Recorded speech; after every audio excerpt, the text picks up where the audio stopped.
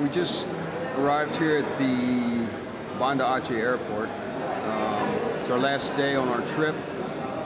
And I'm kind of surprised I'm actually here right now because uh, February, March of this year, I still really hadn't made up my mind yet that I really wanted to come out here and uh, work work because uh, I didn't really have the uh, plan. I didn't have it set up, and so and I didn't know if there was a project really that I felt like I could be used on. And then David Ruzicka kept pestering me about it. So after two or three times, I said, well, I'm thinking about it now. And so anyway, I ended up coming here and uh, we had worked with some youth for the first two, two, three days and I really saw God's hand in what we were doing there, and He was and how He was using me, and I, I really learned that God can take me or anybody like me and just use us, you know, even uh, sometimes when we don't think He can,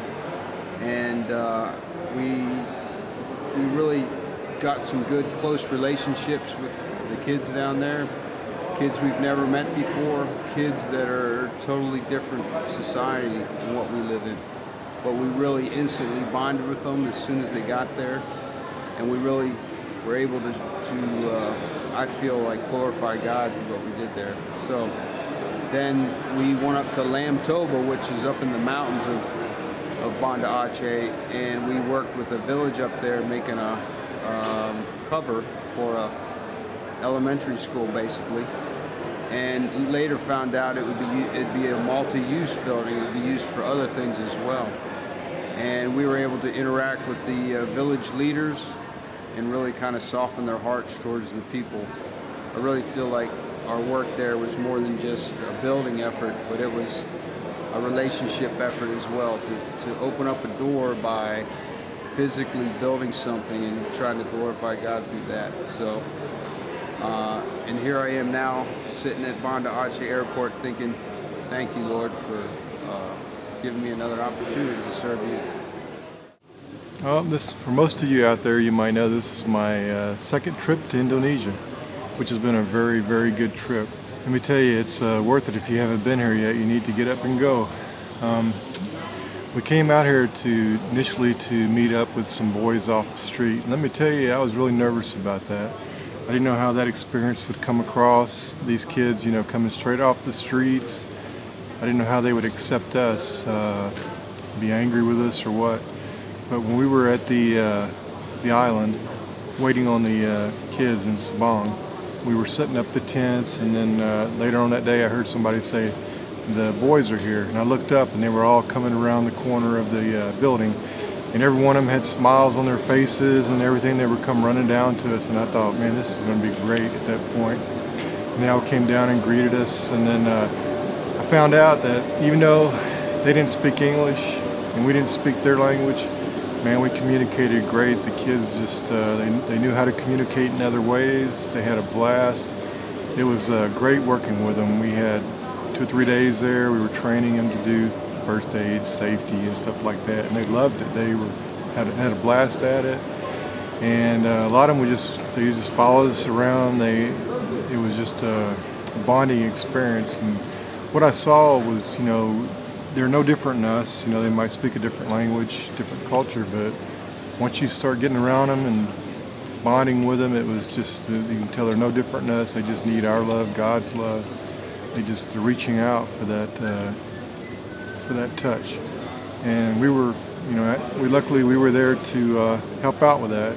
God was using us as a tool, and uh, I'll never forget that experience working with them. And, uh, one of the saddest moments of the trip was when uh, we found out that we weren't going to be able to see the boys again before we left today, and we, we were all looking forward to that. And uh, that didn't happen, but it's all for the good. We'll we'll be in touch with them again.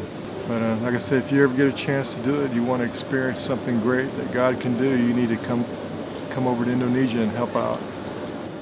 Well, hey, we're in Singapore. We're on our way back from Indonesia. We have had a great trip. We've had a fantastic time. Great team with Ryan and uh, Bill and Ricky. They all did a great job. Really neat having Glenn Larrick there with us and Karen. Um, if I, as I think back over the trip, the places that I really saw God work, there were two that stood out for me.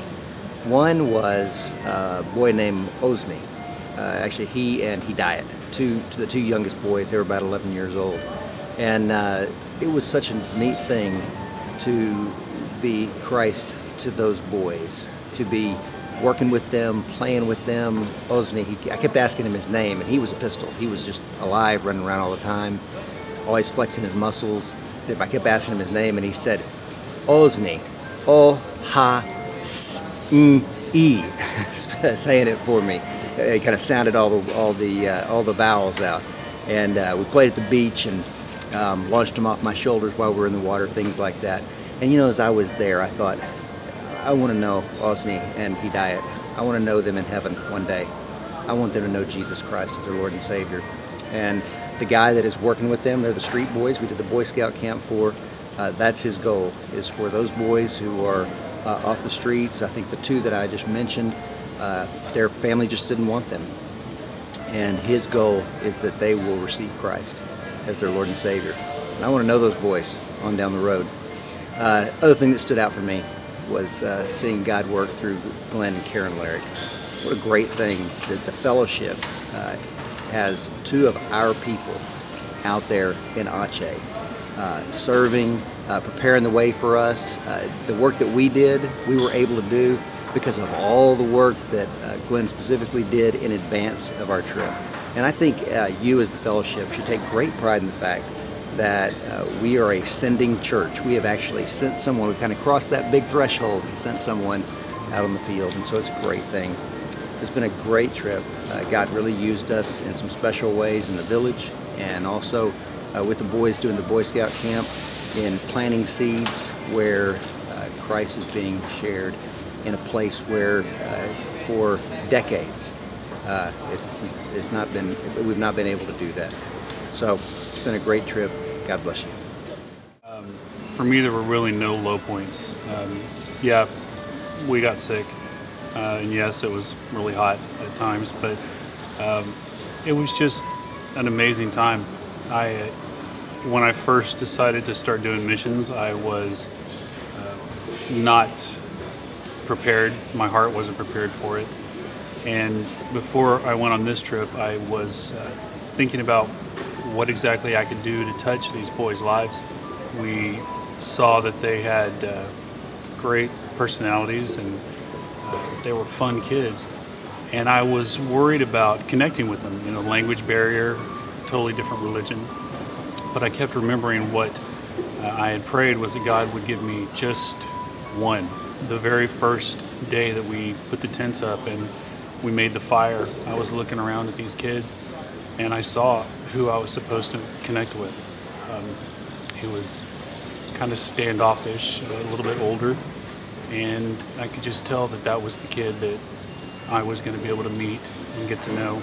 And I didn't know if I was going to be able to bring him to Christ, but it's about relationships and building bridges uh, to get to that point. Uh, so uh, his name was Anadok, and I found it sad uh, that he had ambitions and dreams that he's not able to fulfill because of uh, his faith in his government. Uh, that a lot of the things he wants to do are forbidden. And I pray that one of those kids out of the 18 comes to Christ because, like I said, it only takes one.